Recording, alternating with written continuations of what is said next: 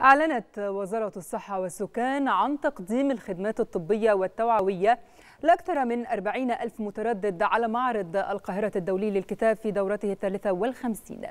وذلك منذ بدء فعاليات المعرض يوم السادس والعشرين من يناير الجاري وحتى أمس الاثنين ويأتي ذلك ضمن خطة الوزارة للتأمين الطبي لمعرض القاهرة الدولي للكتاب واتخاذ كافة الإجراءات الوقائية والاحترازية ضمن جهود الوزارة للتأمين الطبي لجميع الفعاليات والأنشطة المختلفة حرصا على الصحة العامة للمواطنين بالتزامن مع إجراءات الدولة للتصدي لفيروس كورونا وذلك بالتنسيق مع وزارة الثقافة.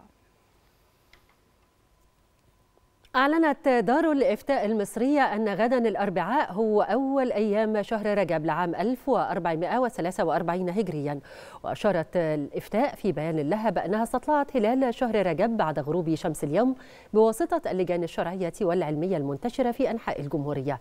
وقد تحققت من خلال الرؤية البصرية الشرعية الصحيحة ثبوت رؤية هلال شهر رجب.